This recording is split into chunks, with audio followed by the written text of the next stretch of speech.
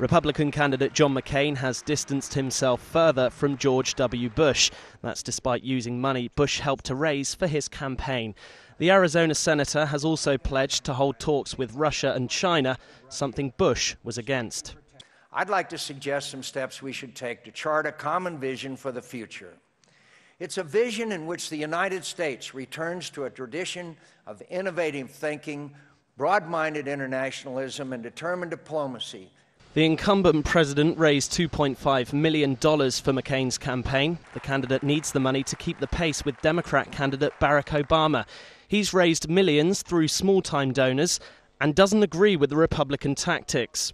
Today, uh, John McCain is having a different kind of meeting. He's holding a fundraiser with George Bush behind closed doors in Arizona.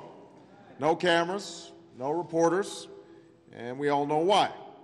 Senator McCain doesn't want to be seen hat in hand with the president whose failed policies he promises to continue for another four years.